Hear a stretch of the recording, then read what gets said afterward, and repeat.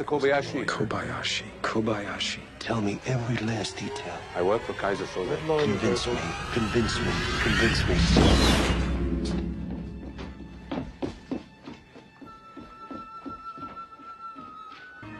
The cripple, did you see him?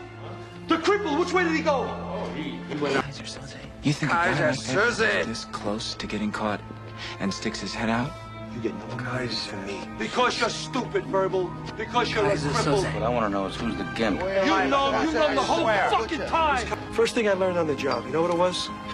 How to spot a murderer. You told me you got the cripple in there from New York. Yeah. He mentioned Keyser Soze. Who? After that, my guess is you'll never hear from him again.